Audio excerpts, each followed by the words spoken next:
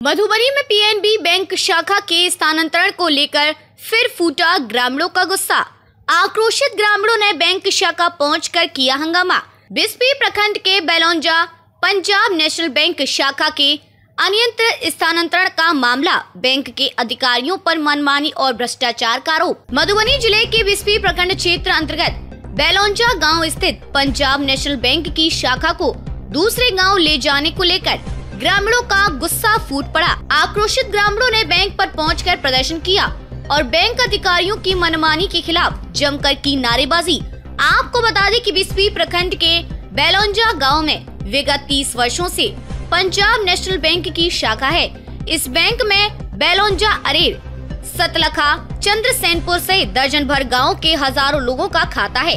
ग्रामीणों की माने तो कुछ बैंक अधिकारियों की मनमानी और भ्रष्टाचार की वजह से इस बैंक शाखा को दूसरे गाँव में स्थानांतरण किया जा रहा है, जबकि गाँव में ही कई लोग अपना भवन बैंक को देने के लिए तैयार हैं। लोगों की माने तो बैंक के अधिकारी रिश्वत लेकर दूसरे गाँव में अपने चहेते के भवन में बैंक शाखा चलाना चाहते हैं बहरहाल ग्रामीणों ने बैंक अधिकारियों को चेतावनी देते हुए कहा है कि बैंक को बेलौंजा में ही चलने दिया जाए, अन्यथा उग्र आंदोलन किया जाएगा बेलौंजा गाँव के सैकड़ों लोगों ने जिला प्रशासन और बैंक अधिकारियों से पीएनबी ब्रांच को बेलौंजा में ही रखने की मांग करते हुए भ्रष्ट बैंक अधिकारियों पर कार्रवाई की मांग की है बहरहाल वर्तमान में किराए के भवन में चल रहे बैंक का मकान जर्जर हो गया है ऐसे में गाँव में दूसरे भवन में बैंक चलाने की मांग लोगों के द्वारा की जा रही है मधुबनी से संतोष मंडल की रिपोर्ट तमाम बेलो जाके जाएँगे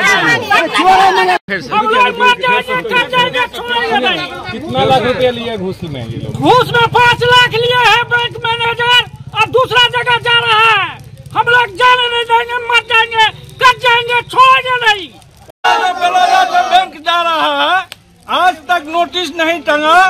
आज तक पब्लिक को नोटिस देना चाहिए। नब्बे दिन पहले नियम जो है लेकिन अट्ठासी से यहाँ बैंक चल रहा है। आज तक बलौदाबासी को, किसी भी पब्लिक को, किसी भी खाताधारी को नोटिस नहीं है।